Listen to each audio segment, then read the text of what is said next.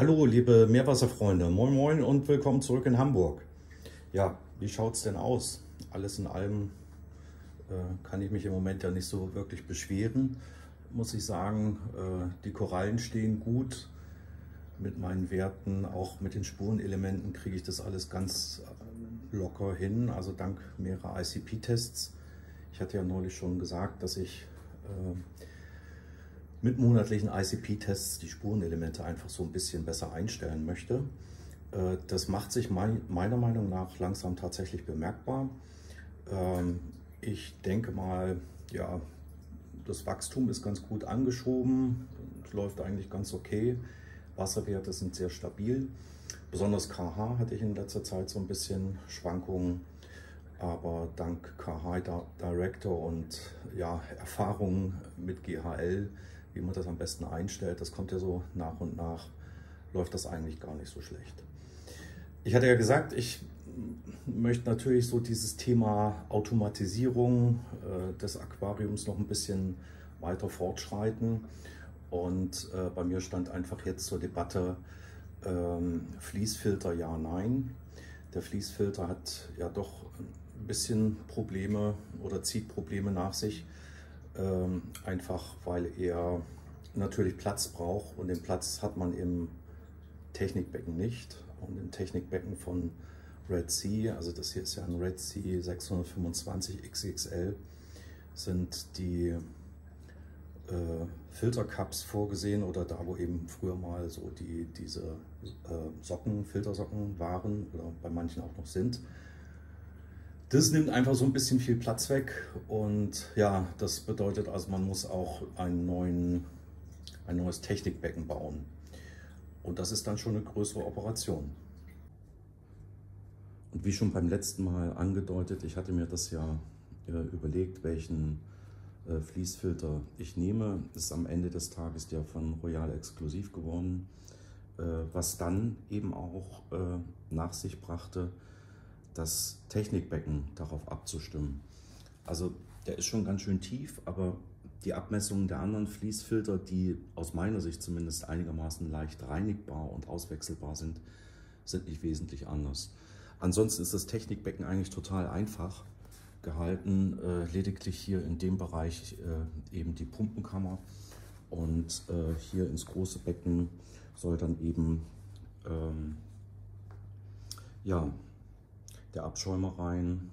Da soll natürlich dann auch wieder der Zeolithfilter rein und ein paar kleine Pumpenheizungen und nicht zu vergessen äh, die Sensoren von GHL. Ja, das wird alles ganz schön eng, aber ich glaube, dass ich äh, hier einfach auch extreme Freiheit habe. Ich habe tatsächlich überlegt, ob ich mir nicht gleich eine Dreambox äh, von Royal exklusiv kaufe, aber A, die Dinger sind also echt extrem teuer äh, zum einen. Und zum anderen, was mir also jetzt an meinem Technikbecken sowohl der alte Zustand als auch der neue gefällt, ich bin hier extrem flexibel. Das heißt, ich kann meine Heizung austauschen, ich kann meine Pumpe austauschen, ich kann einen Filter austauschen und ähnliche Dinge. Äh, die Flexibilität nimmt man sich da. Aber natürlich wäre so eine Dreambox äh, toll gewesen, aber letztendlich waren es die beiden Kriterien, die mich von der Dreambox abgehalten haben. Also einmal ganz klar Preis, äh, sehr, sehr teuer und äh, zum anderen eben auch, äh, ich nehme die Flexibilität für die kommenden Jahre. Ja, liebe Meerwasserfreunde, und das ist dann eben, wie eben schon angedeutet, der, der Ort der Tat heute. Das wird schon ein ganz schön grauenhaftes Thema, denke ich mal. Also zunächst muss natürlich hier alles ausgebaut werden und ähm, da hat sich ja doch einiges angesammelt, was hier so drin ist. Äh, wird also eine größere Operation.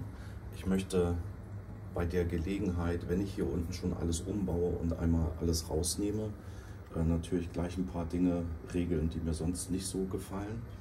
Also zum einen äh, werde ich hier die Verbohrung anpassen.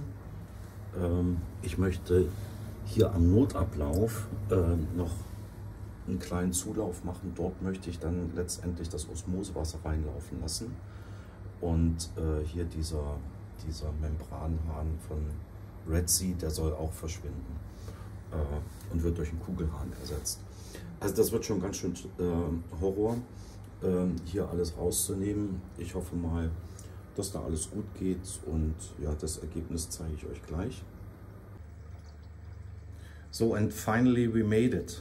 Also es war echt eine, eine Hammer-Operation, muss ich sagen. Wir haben hier also einen Freund und auch unter äh, zur Hilfenahme meiner Frau tatsächlich sieben Stunden gebraucht, um hier alles umzubauen. Also altes Becken raus mit der gesamten Technik, neues Becken rein. Bei der Gelegenheit, außer den Abschäumer, wie man sieht, eigentlich alles mal ein bisschen reinigen, ein bisschen säubern. Das Schlimmste war eigentlich hier oben die Verrohrung zu ändern. Also ich habe dann äh, auch noch so den Notüberlauf geändert. Ich habe die, diesen Membranhahn von Red Sea rausgenommen und gegen Kugelhahn ersetzt. Äh, jetzt muss ich hier noch so ein bisschen Feintuning machen. Ab und zu gurgelt er noch so ein bisschen. Äh, aber alles in allem äh, bin ich da also echt glücklich drüber, dass ich das gemacht habe. Äh, diese Berge von Filterwatte, die man da braucht, oder wenn man dann eben keine Filtercups nimmt, äh, permanente Socken auszuwaschen, das macht echt keinen Spaß. Also Hammerarbeit, kann ich nur sagen, aber ich glaube, jetzt habe ich hier auch einen Automatisierungsgrad erreicht, äh, mit dem man wirklich gut leben kann. Also es ist ja nicht so, dass ich da zu faul bin, äh, hier permanent Filter zu waschen und auszutauschen. Es ist einfach so, dass ich äh, ja manchmal einfach keine Zeit habe. Ich bin gespannt, wie sich das Becken verhält. Alles andere ist so geblieben. Also ich habe es ein bisschen umgestellt natürlich. Hier mein Zeolithfilter, hinten noch eine kleine Pumpe, wo Phosphatabsorber und Kohle in gesonderten Reaktoren äh, versorgt werden. Ich nehme mal an, dass der Abschäumer hier so ein bisschen an Arbeitslosigkeit leiden wird in Zukunft. Ähm, es gibt also hier von, von Royal Exklusiv zwei unterschiedliche Filtermaterialien. Ich habe erstmal das Grobe genommen, damit da auch noch ein bisschen was durchkommt und ja, meine Biologie im Becken nicht stirbt. Aber man kann schon jetzt sehen, der Abschäumer ja, wird arbeitslos.